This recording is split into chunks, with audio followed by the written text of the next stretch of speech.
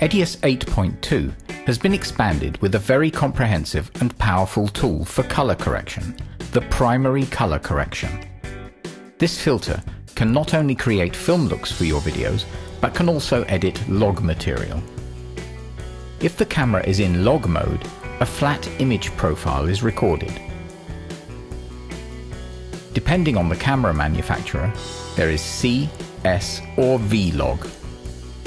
The vector scope shows that such an image contains no contrast or saturation. Normally, white pixels in the video should have a maximum value of 100 and black a minimum of 0.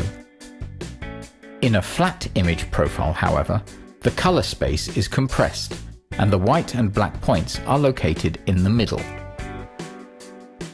To restore contrast and saturation, the image has to be processed. Previously, you could apply a combination of various filters such as the YUV curve or the color balance.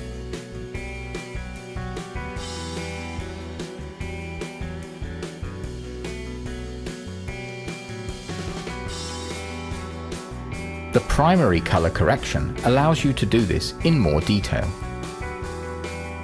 Place the primary color correction on the corresponding clip in the timeline.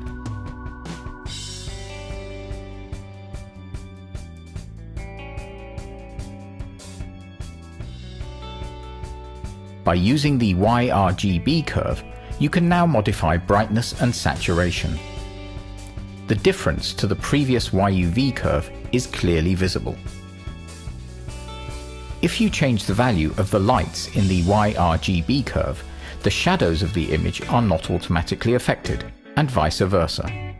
So you can edit lights, shadow and midtones in a very detailed manner and separately from each other.